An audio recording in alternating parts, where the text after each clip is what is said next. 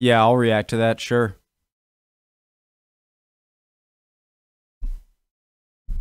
Hello. Okay.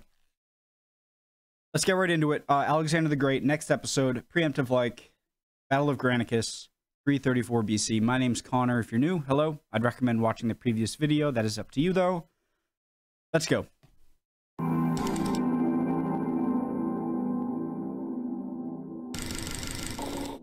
After his tentative enthronement in 336 BC, a 20-year-old Alexander the Great ruthlessly consolidated power in Macedon and securing the allegiance of prominent nobles.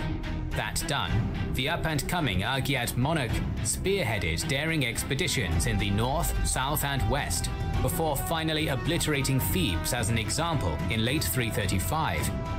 With Macedon's borders secure and his royal authority unquestioned, the stage was set for Alexander, tutored by Aristotle in the Homeric epics, to finally turn his glory-hungry gaze eastward. He would use the lethal So is there another Thebes in Egypt, right? Because whenever I think of Thebes, I think of Egypt, but this is a Greek Thebes.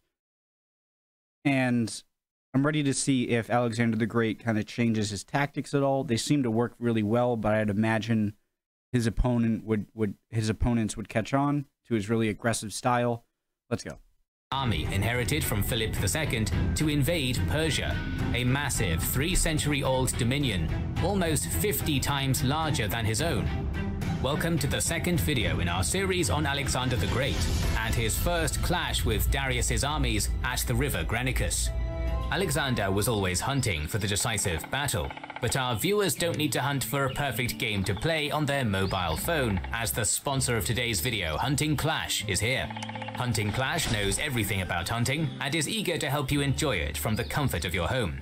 This next generation hunting simulator and shooting game is available for free on Android and iPhone, and you can support us by downloading Hunting Clash from I remember having a hunting game that looked like this for Xbox like 15 years ago.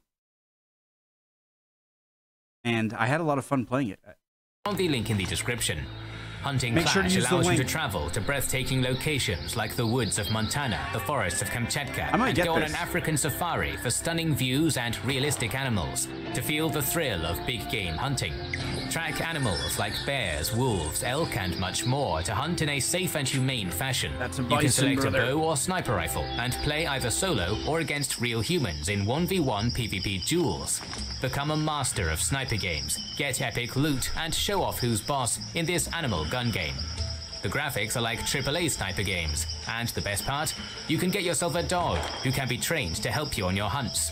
Support us and start having fun by clicking the link in the description and downloading Hunting Clash today. I think I'm going to get that. After leaving behind Actually, him okay. the smoldering pile of rubble that was now Thebes, Alexander the Great returned to Pella and gathered all the Macedonian magnates. Together, they began planning the invasion of Persia. During this meeting, the king's advisors counseled him to take a wife and sire an heir before departing. However, either due to political calculations or because his interest in women was tepid at best anyway, Alexander refused this suggestion. Royal finances were also in a precarious state following a year of non-stop military campaigning, and so the king was forced to turn to his companions and nobles for assistance. The propagandized account goes that Alexander doled out sections of the Macedonian crownlands until the finances of each companion were provided for. One of them, Perdiccas, is said to have asked the king, But what have you left for yourself? Alexander replied, My hopes. What the king was doing here, though, as Peter Green bluntly points out, was borrowing money. With the assembly thus concluded and all matters prepared, Alexander, his companions, and the invasion army advanced through Macedonia and Thrace via the route used by Xerxes I in 480 BC, leaving Antipater as regent at home. 20 days and over 300 miles later, the Macedonians arrived in the Chersonese and prepared to cross the Hellespont. However, while Parmenion did the donkey work and used 160 Hellenic League triremes to conduct a complex but unopposed crossing from Sestos to Abydos, Alexander went south and crossed at Elaeus with a small force. According to one account, Just as the king's ship was about to make landfall in Asia, Alexander, clad in full armor, launched a spear into the sand and thereby claimed the eastern continent as spear-won land. Making sacrifices to the gods and conducting religious ceremonies the whole way, the king made a sojourn to the mythical city of Troy. Alexander then went north with his entourage, which included his closest companion, Hephaestion, and united with the main muster under Parmenion's supervision on a plain near the town of Arisbe. As his invasion of the Achaemenid Empire begins, it's worth going over what kind of army Alexander had at his command in 334 BC.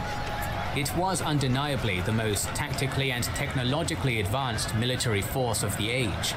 However, unlike such greats as Genghis Khan and his enemy's predecessor Cyrus the Great, Alexander hadn't made his own army, but inherited one developed by his father Philip II. Waiting for their enterprising king on that broad plain near Arisbe were 12,000 of the best Macedonian heavy infantry.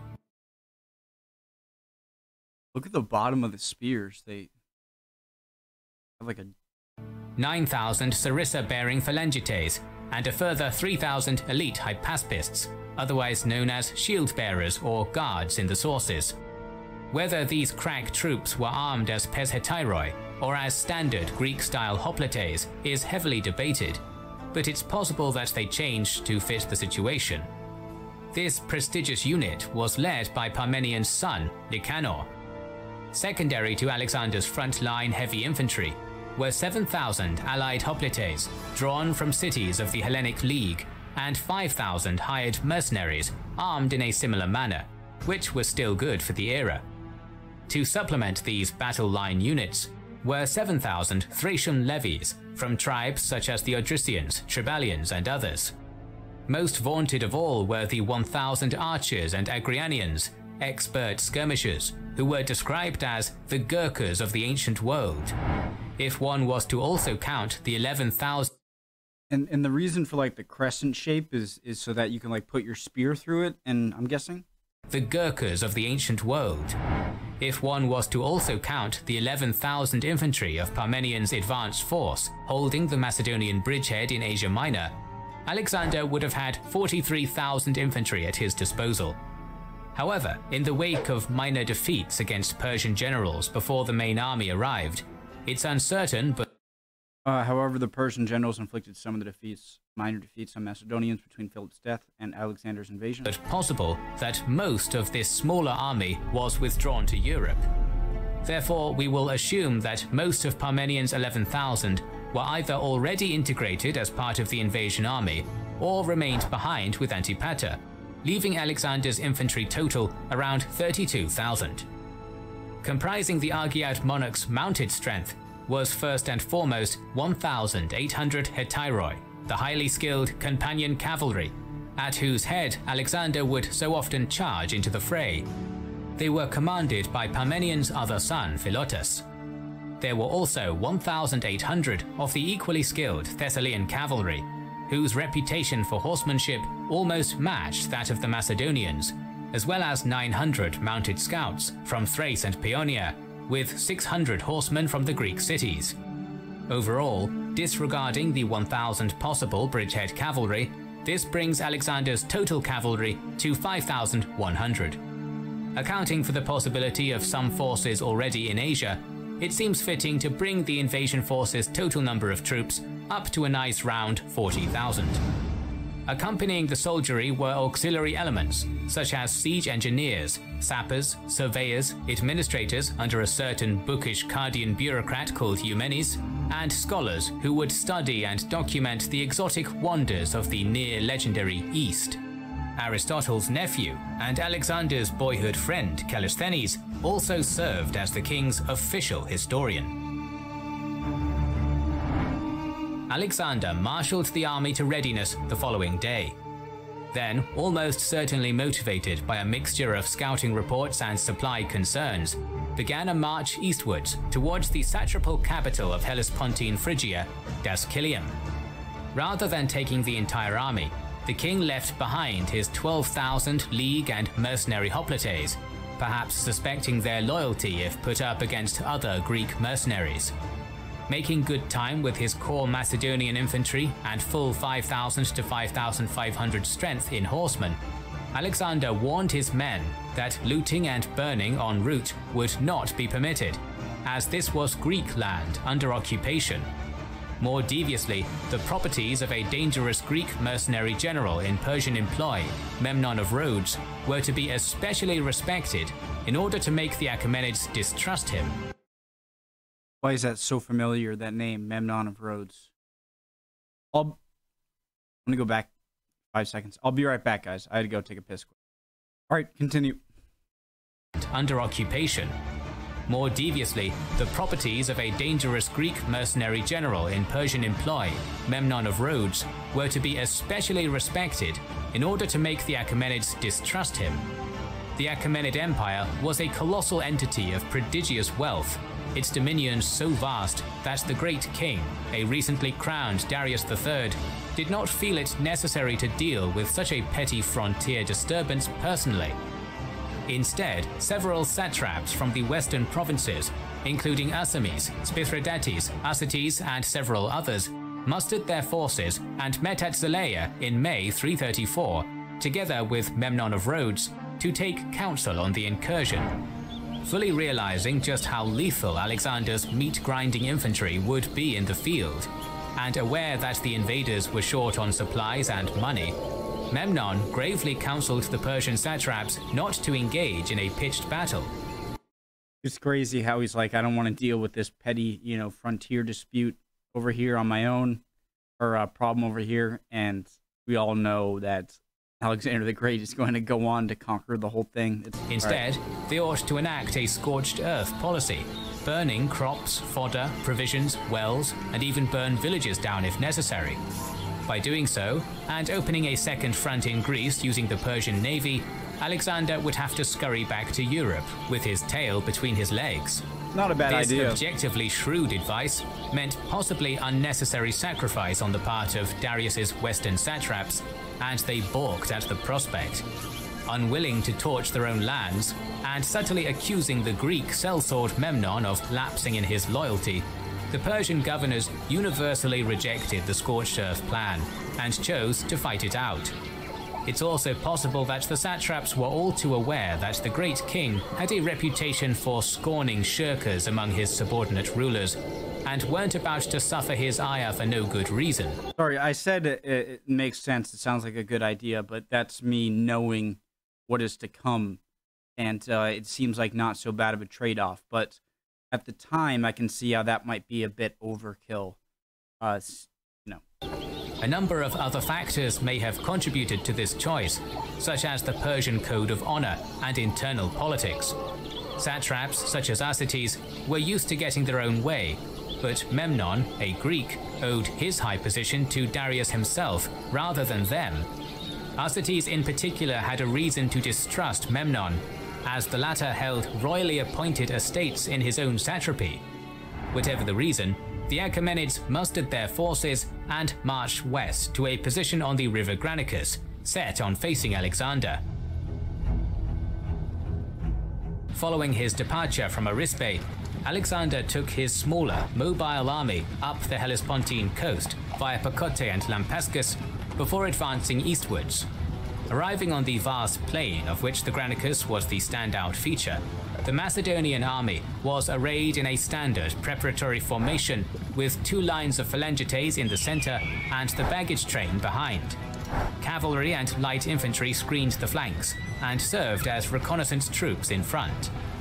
In the late afternoon, just before the Granicus, Alexander's scouts rode back and informed the impetuous king that a Persian army had finally been sighted on the far side. This news prompted Alexander to redeploy his forces in battle formation, a task he was swiftly able to accomplish due to the battle-ready marching order. However, when the Macedonian army got to the river, its generals quickly began having reservations about the prospect of immediate battle. Lined up atop the steep far bank were just over 10,000 Persian satrapal cavalry from across the empire, roughly twice Alexander's total. Arsames and Memnon of Rhodes led Cilician and Greek mercenary cavalry on the Achaemenid left, flanked to the left by Arsaces and his Paphlagonian horse. Hyrcanians under Spithridates assaulted mounted troops in the center, and Bactrian cavalry to their flank. On the extreme right was Rheomithres, leading a contingent of mounted Median troops. As the Persians had ever since their empire's defeat in the 5th century Greco-Persian Wars, roughly 5,000 to 6,000 Greek mercenary hoplites had been raised to serve as the satrapal army's heavy infantry force. However, possibly because they had the same suspicion of loyalty as Alexander had with his Greeks, the satraps positioned this hired unit a mile or two behind the river, under the command of a Persian known as Omares, too far away to take part in the main battle. The rock-hard center of Alexander's line were six 1,500 strong brigades of the phalanx, led by Meleager, Philip, Amyntas, Craterus, Coenus, and Perdiccas. To the right of the phalanx were Nicanor's 3,000 hypaspists, and then Philotas and Alexander himself at the forefront of 1,800 companion cavalry, several hundred mounted skirmishers, Agrianians, and some archers. 2,700 Thessalian, Thracian, and League cavalry were on the left under Parmenion. Following the army's deployment, Parmenion rode over to Alexander's position and counseled the king to delay any battle until the following morning. A hasty and most probably failed attack over such an obstacle as the Granicus now, he reasoned, would be a fatal blow to the entire expedition. However, if they waited until morning, the Persians, observing Macedonian superiority in infantry, might withdraw from their position during the night and allow an unopposed crossing. Our sources disagree on what the response was. However, most tell us that because of his Homeric desire to achieve heroic status through great deeds, or not wanting to buoy Persian morale by hesitating, Alexander disregarded Parmenion's cautionary advice and prepared the army for an immediate attack. Clad in magnificent armor on the right wing, So aggressive, man. he was easy for the enemy to attack. Clad in magnificent armor on the right wing, he was easy for the enemy to see, and so a number of elite contingents under the satraps shifted to oppose Alexander's elite Hetairoi hammer, hoping to kill him and end the incursion. The Battle of the River Granicus finally began when the Macedonian king sent a mixed vanguard of prodromoi mounted skirmishers, Paeonian light cavalry, and a small unit of companions, and his Agrianian favorites into the river, with the outward aim of securing the far bank. However, facing some of the best Achaemenid cavalry from the treacherous and slippery riverbed, they met predictably stiff resistance. Throwing spears and other pinpoint accurate missile weapons rained down on the beleaguered advance force, causing terrible casualties from a distance. Some of these satrapal units descended to meet the Macedonian vanguard in melee combat in the riverbed itself, removing them from the advantageous higher bank. This attack gradually drew in even more regiments from the otherwise unengaged Persian line, disrupting the orderly formation on Arsites' left and shaping the battlefield to Alexander's requirements. With the enemy drawn out and exposed by the sacrifice of his vanguard, Alexander charged wholesale at the head of just under 2,000 companion cavalry, arrayed as it was in a wedge formation, galloping into the river obliquely to the right of the advance force, and thereby meeting little resistance, the Hetairoi and their king were able to swing left and crash straight into the exposed Persian left wing in the riverbed, where most of the enemy leaders were fighting. This struggle against the best Achaemenid cavalry was, as Arrian relates, a cavalry battle with, as it were, infantry tactics, horse against horse, man against man, locked together. The Macedonians did their utmost to thrust the enemy once and for all back from the riverbank and force him into open ground, while the Persians fought to prevent their landings and hurl their opponents back into the water. The companions' discipline, skill, and armament rapidly began to turn the tide. In particular, the Macedonians' efficient use of the cornel wood xyston lance compared to the lighter spear of the Persian cavalry. However, despite this gradual forcing of the Granicus on the Persian left, Alexander, in the thick of the fighting, became the target of a concerted effort by the Persian leadership to kill him as the spear tip of his forces pushed their way onto the far bank. I understand, you know, he's he's young and he's ready to fight and he's obviously a smart, capable commander. But uh, the risk of you dying like all of these guys could die on the Persian side and the Persian army isn't going to collapse in morale or whatever, but I feel like Alexander the Great Alexander is just the motivating factor. And so I understand you have to show anyways, I you get what I mean. Accounts differ as to the nature of this clash, but Arrian informs us that at some point after Alexander's retinue penetrated the line, his spear snapped and he was forced to get a new one from a bodyguard. Isolated on the far bank with just a few companions, the king was quickly beset by several contingents of enemy cavalry. The leader of one, Darius III's son-in-law, Mithridates, was slain when Alexander wheeled around and drove his newly gotten spear into the Persian's face. It was only a moment later that another Persian aristocrat, Rhoesaces, confronted Alexander and lopped off a part of his helmet before himself being felled by the king's lance. While locked in mortal combat with Rhoesaces, the latter's brother, Spithridates, satrap of Lydia, bore down on Alexander from behind and prepared to deliver the coup de grace. The Persian sword was about to fall and end the 22-year-old king's life, However, at the last possible moment, an officer known as Cleitus the Black swept in and severed Spithridates' arm at the shoulder, saving Alexander the Great's life. By that point, having inflicted fearsome casualties and cut down many Persian commanders, the companions were getting the better of the Persian cavalry all across the right wing. Furthermore, the Agrianian skirmishers managed to breach the Persian formation's integrity and get in among the beleaguered enemy horsemen. This channel has the ability to really get me pumped up, like at certain points. Like it knows when to put in the the music and, and the bloody squares cracking, and it gets you ready. Across the right wing. Furthermore, the Agrianian skirmishers managed to breach the Persian formation's integrity and get in among the beleaguered enemy horsemen.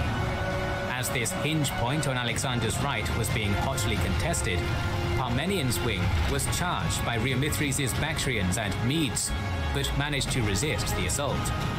In the center, six taxeis of Phalangites and Hypaspists advanced inexorably across the Granicus, ineffectually showered by the Persians' missiles. When it became clear that the companions had punched straight through the Achaemenid left, the satrapal army broke in a wave of panic reverberating from Alexander's point of impact on the right all the way to Parmenion on the left, who had managed to hold the Persian cavalry there. A number of gallant Achaemenid units fought to the death in the river. Arsames fled to the capital of Cilicia, Tarsus, and prepared his defenses. Arsaces, however, committed suicide after the battle, fearing Darius's wrath. While an equally great quantity, included among them Memnon of Rhodes, used their mounted mobility to escape the field and ride to Miletus. They were able to do so easily because Alexander, Parmenion, and the phalanx, which was now on the far bank as well, didn't give chase to them. Instead, the Macedonian cavalry wrapped around the unengaged and now woefully outnumbered Greek mercenaries on either side, encircling them while the phalanx lowered their sarissæ for another fight. Did he take him in? We're left with no concrete reason as to why the satrap's hired infantry didn't march forward and join the main battle, it's entirely possible that Alexander's lightning assault and victory, which according to Professor Michael Thompson, was accomplished in less than an hour, took the Greeks by surprise and left them with no ample opportunity Why do I get the feeling he's going to incorporate them? to react in time. Unfortunately, we can never know for sure. But what happened next is universally recounted. As if all of a sudden realizing their dire situation, and probably believing that a fellow Greek king wouldn't be too draconian, the mercenaries petitioned Alexander for mercy. Rather than granting it, though, the Macedonian monarch assailed the Greeks en masse, butchering thousands of them in a hard-fought last stand. Never mind. Plutarch claims that the king had been influenced more by anger than by reason. He's 22. But one of those reasons might have been to make the brutal point If you're a Greek mercenary, do not fight for Persian gold, or you will receive no mercy. Despite crushing the hired hoplites, Alexander's army took more casualties in this phase of the fighting than it had in the process of forcing across the river. In the future, the king would never again be so reckless and uncompromising in dealing with similar surrendered units, indicating just how much of a toll they inflicted. Whatever the case, about 3,000 were killed and another 2,000 sent back to Macedonia in chains, where slave labor in the mines awaited them. Between 1,000 and 2,500 of the 10,000 Persian cavalry had also fallen in the battle, together with almost a dozen named higher officers and governors. On the victorious Macedonian side, casualty totals were far lower.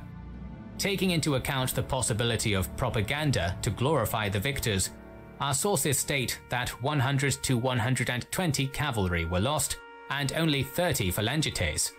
However disputable these figures are, the strategic result was not. All of Asia Minor now lay open for the taking. After visiting the wounded and giving an honorable burial both to his own men and the fallen enemy warriors, Alexander appointed his own replacement satrap for Hellespontine Phrygia, instructed him to maintain the general status quo, and then moved south. Zeleia was I still don't quite understand what a satrap is. I'm a bit slow. All right, I'm trying to I'm trying to learn everything. was taken and pardoned, while Parmenion was sent with a flying column to take over nearby Dascylium, which had been abandoned by its Persian garrison. Then, about eight miles short of Sardis, the garrison commander and many other leading figures came to meet the Macedonians in order to surrender the fortress, treasury, and the city in its entirety to Alexander. From initial insecurity and near collapse after Philip's death in 336, Alexander had managed, in just two years, to crush an Achaemenid army in open battle and occupy one of the greatest capitals of the ancient Near East. But that was just the first step. Far to the east, in the heart of his massive empire, Darius III began raising an equally massive royal force to confront the invading Macedonian king himself. As Alexander considered his first victory from a newly dedicated shrine of Zeus at the Sardis Acropolis, looking out onto the great continent beyond, he had to have known that the real challenge was about to begin. Once again, thanks to Hunting Clash for sponsoring this video. Awesome channel, awesome uh, video, great. Uh, so we're gonna watch the next one. Obviously, you're gonna watch the the rest of the four. It goes in more in detail. Not only is it so long ago that I watched the original Epic History TV um, Alexander the Great series, which that channel is amazing. But one, it was really long ago, and it didn't go as in depth as uh, Kings and Generals is going in the individual battles and whatnot. Great channel. All right. Um, hope you guys are all doing well. All right. See you next time. Chin up.